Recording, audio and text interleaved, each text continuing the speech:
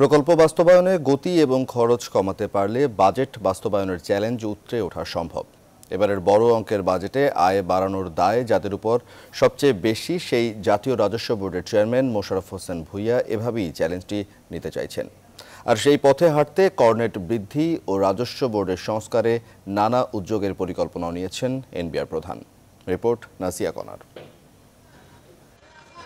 প্রস্তাবিত বাজেটে এনবিআরের অভ্যন্তরীণ রাজস্ব আদায় বাড়াতে কতগুলো সংস্কারমূলক পদক্ষেপের কথা বলা হয়েছে। এর মধ্যে আছে করজাল বাড়ানোর জন্য জরিপ প্রশাসনিক সংস্কার, বিভিন্ন সেবায় টিআইএন বাধ্যতামূলক করা, টিআইএনধারীদের রিটার্নের আওতায় আনা, কয়েক বছরের মধ্যে এক কোটি নতুন করদাতা সৃষ্টি এবং হয়রানি ও ভীতি দূর করে কর আদায়ে আস্থার পরিবেশ তৈরি করা। করের আওতা বৃদ্ধি এবং নতুন করদাতা তৈরিতে এনবিআর এর নানা উদ্যোগের কথা জানান সংস্থাটির chairman Mosharraf Hossain Bhuiyan. Trade licence করতে পাঁচশো টাকা লাগে।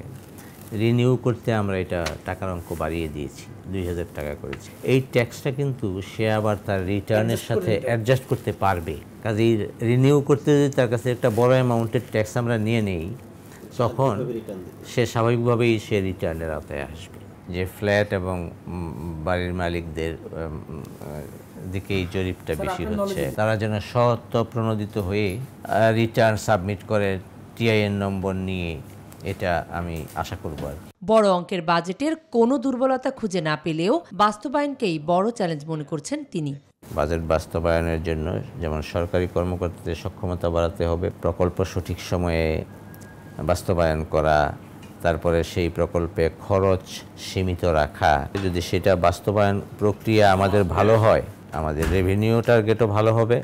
কর জিডিপির অনুপাত পনেরো শতাংশে নিয়ে যেতে চায় সংস্থাটি। আর তাই এরই মধ্যে করের আওতা বাড়াতে জরিপের কাজ শুরু করেছে তারা। সংস্থাটির প্রশাসনিক সংস্কারেও কাজ চলছে বলে জানান এনবিআর প্রধান।